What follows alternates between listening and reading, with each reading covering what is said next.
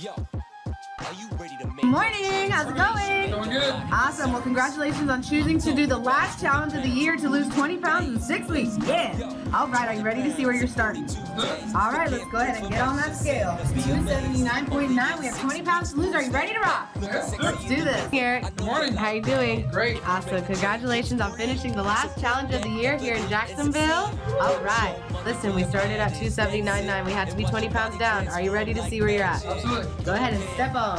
We're finishing at 251.7. That gives us a lot. 28.2. All right. Yeah. Way to work. Way to work. Good morning, Eric. What's up? We are here to see our final weigh-in for our January challenge. Are you ready to get on that scale and see where we're ending? Let's do. All right, let's do it. Let's get over here on this scale.